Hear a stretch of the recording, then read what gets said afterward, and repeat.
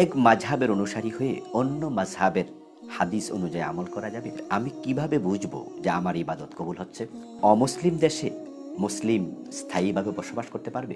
সাজদার সময় দুই পায়ের মাঝে কতটুকু ফাঁকা থাকবে? বড় নামাজে বড় সুরা যখন তেলাওয়াত করি, যেমন সুরায় আসেন তেলাওয়াত কালে যদি রুকু আসে, তাহলে কি রুকুতে যেতে হবে?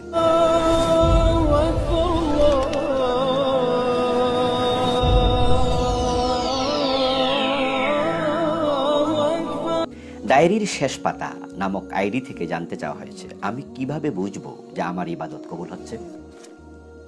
চমৎকার প্রশ্ন। জীবন ঘনিষ্ঠ প্রশ্ন। হ্যাঁ ইবাদত কবুল হচ্ছে কিনা তা নিশ্চিতভাবে বোঝার সুযোগ নেই। তবে অনুমান ভিত্তিক বোঝা যায়। যখন ইবাদত করে আপনি মজা পাবেন, তখন বুঝবেন ইবাদত কবুল হচ্ছে। ইবাদত করলে আগ্রহ বেড়ে যায়, আরও বেশি ইবাদত করার। তাহলে বুঝতে হবে ইবাদত কবুল হচ্ছে। আর ঠিক তার বিপরীত যদি হয়, বুঝতে হবে ইবাদতে গাফলা আছে। আল্লাহ সেটা নিচ্ছেন না। এই জন্য ইবাদতে স্বাদ পাওয়া, ইবাদতের আগ্রহ তৈরি হওয়া, প্রমাণ করে ইবাদত কবুল হচ্ছে।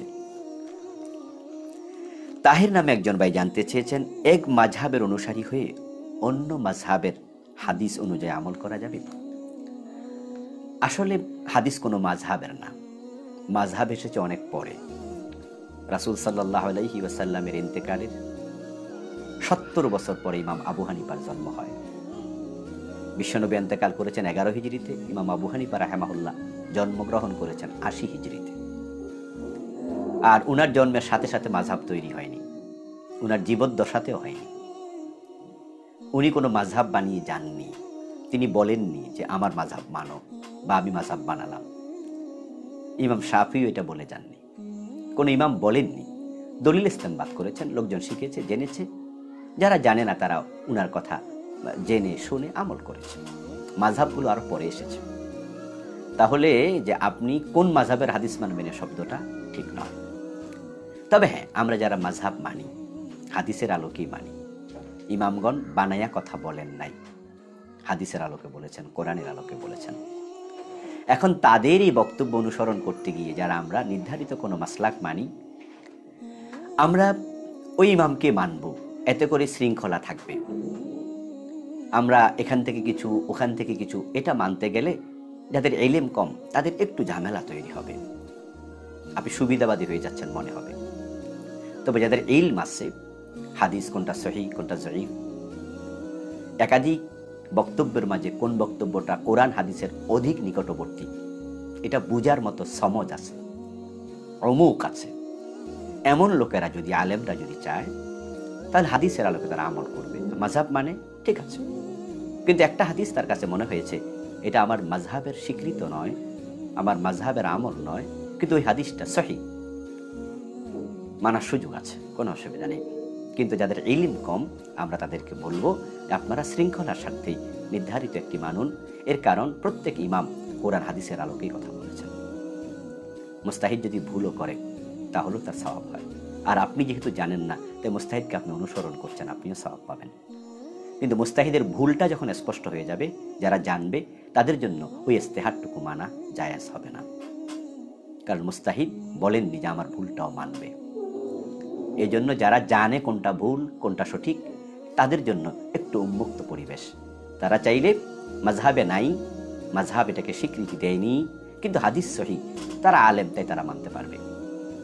নন আলেম যারা গাইরে আলেম যারা, তাদের ব্যাপারে আমরা এ বিষয়ে অনুমতি অনুমতি দিতে চাই না, কারণ বিশৃঙ্খলা তৈরি হবে, তারা নিজেরাই পেঁচে পড়ে যাবে।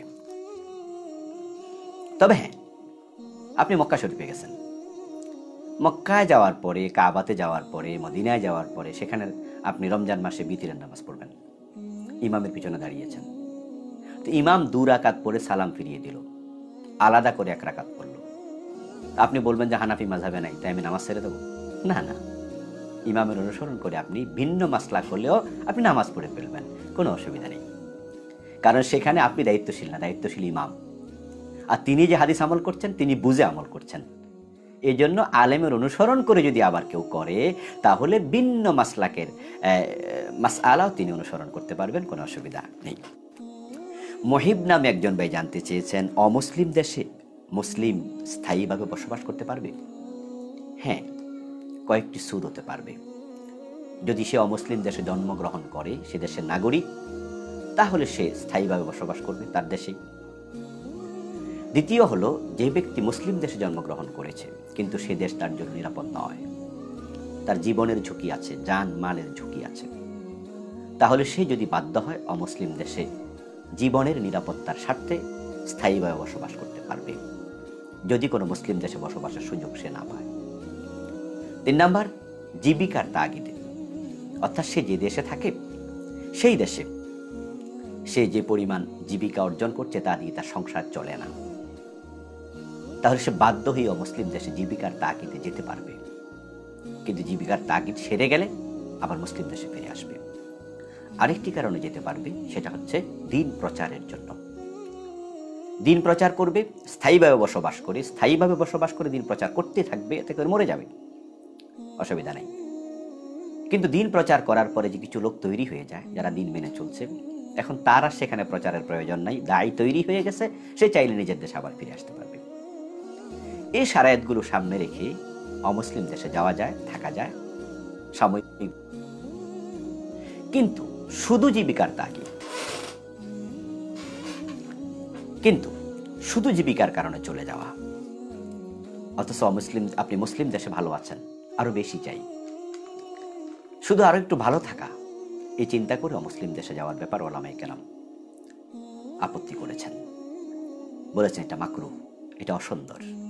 কারণ অমুসলিম দেশে দিন মেনে চলা একটু কঠিন। এবং তার বাস্তব সাক্ষী আপনারা, নিজেরা, যারা আমেরিকায় আছেন, ইউরোপে আছেন, অমুসলিম দেশে আছেন, সেখানে পর্দা নাই। ঘর থেকে বের হইলে বেপর্দা। হাফ প্যান্ট পরে চলছে, শর্ট প্যান্ট পরে চলছে। গায়ে কাপড় চোপড় নেই। সেখানে ইজ্জতের হেফাজত করা, নিজের চোখের হেফাজত করা, সন্তানদেরকে ভালো রাখা একটু কঠিন। এই জন্য শুধু টাকা পয়সার জন্য অমুসলিম দেশে পছন্দ করেন না। তারা এটাকে মাকরু বলেছেন। মোরশেদ নামে একজন জানতে চেয়েছেন, সাজদার সময় দুই পায়ের মাঝে কতটুকু ফাঁকা থাকবে? মাথা কি হাতের মাঝ বরাবর থাকবে? হ্যাঁ সাজদার সময় পা খাড়া করে রাখবেন। দুই পায়ের মাঝে একটু ফাঁকা থাকবে অথবা পা দুটি মিলিয়ে রাখবেন। দুটি হাত, দুটি সন্না হাদিসে দুরকমই পাওয়া যায়। উদারতা আছে, প্রশস্ততা আছে। আর চেহারা কোথায় থাকবে? দুই হাতের তালুর মাঝখানে। রাসুল সাল্লাহ সাল্লাম দুই হাতের তালুর মাঝখানে চিন্তা করতেন। এই জন্য চেহারা সেখানে থাকবে, হাত থাকবে চেহারা দুই পাশে। যদি অনেকে হাত একবারে কাঁধ বরাবর রাখে, মাথা সামনে এগিয়ে দেয়। এটা খেলাফে সন্না আশা করি বুঝতে পেরেছেন। সিদ্দিকুর রহমান ভাই জানতে চেয়েছেন, বড় নামাজে বড় সুরা যখন তেলাওয়াত করি, যেমন সুরাই আসিন তেলাওয়াত কালে যদি রুকু আসে তাহলে কি রুকুতে যেতে হবে? না মোটেও না। জরুরি কিছু নয়। নামাজের কোরআন কোরআন তেলাওয়াতের মাঝে আপনার দেখতে পাই রুকু করা হয়েছে যে এ সুরাতে এতটা রুকু আছে। এ কথার অর্থ এই নয় যে আপনি রুকুতে গেলেই রুকু করতে হবে। যদি রুকুতে গিয়ে আপনি রুকু করতে চান কোনো অসুবিধা নেই। কিন্তু আপনি পুরা সুরা শেষ করতে চান এক রাকাতে তাতেও কোনো অসুবিধা নেই।